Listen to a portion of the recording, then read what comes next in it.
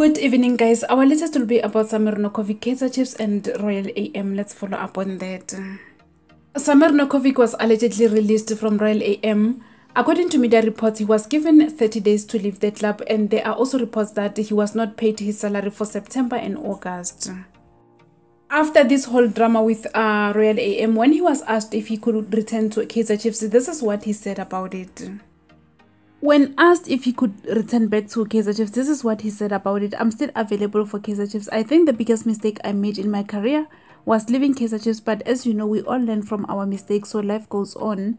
But at the same time, I would like to return to the club if they still need me. He further said, We have seen big stars like Lukaku returning to their previous club, Inter Milan, after leaving them.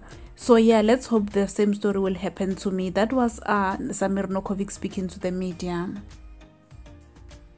And that's all we have for now. Please remember to leave your comments down below and let us know of your take regarding this. That will be all from me. Thank you so, so much for tuning in. I'll see you again in the next update. Bye.